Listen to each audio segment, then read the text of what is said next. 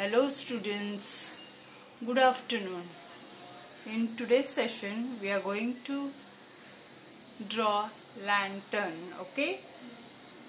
So have you opened your book? Let's start.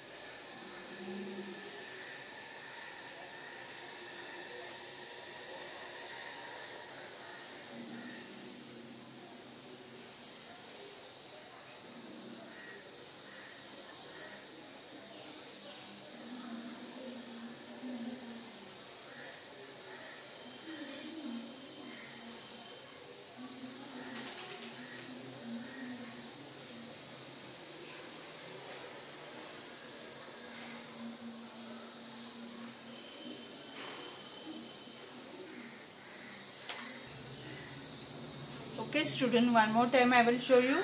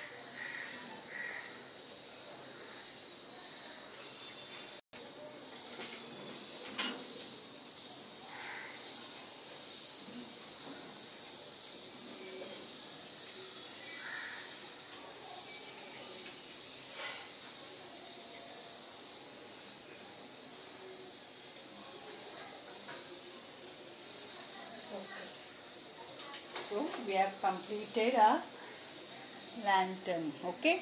In next session I will show you how to color it okay? That's all for today. Bye. Take care